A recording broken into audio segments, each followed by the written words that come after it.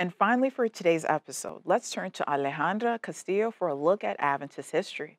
This week, Alejandra shares about the life of James Springer White, a well known leader, author, and evangelist.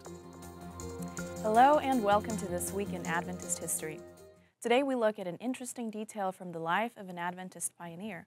A co founder of the Seventh day Adventist Church, James Springer White, is well known for being a prominent leader, talented author, and powerful public evangelist.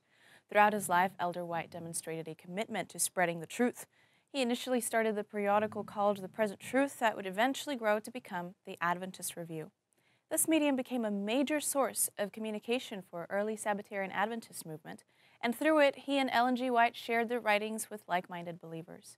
James White was notably passionate about educating young minds, an interest rooted in his own personal and quite remarkable experience with learning.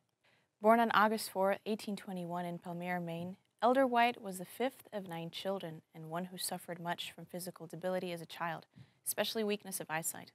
These ailments prevented him from attending school until the age of 19, when he entered an academy near St. Albans, Maine.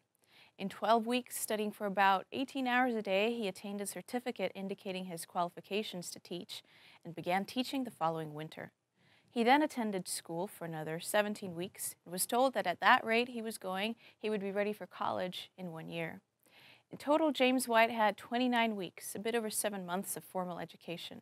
This is a remarkable feat for a 19 year old, as much today as it was in his time. And James White sometimes referred to this experience as a demonstration of what young people can accomplish through diligence and dedication. That was this day in Seventh day Adventist history.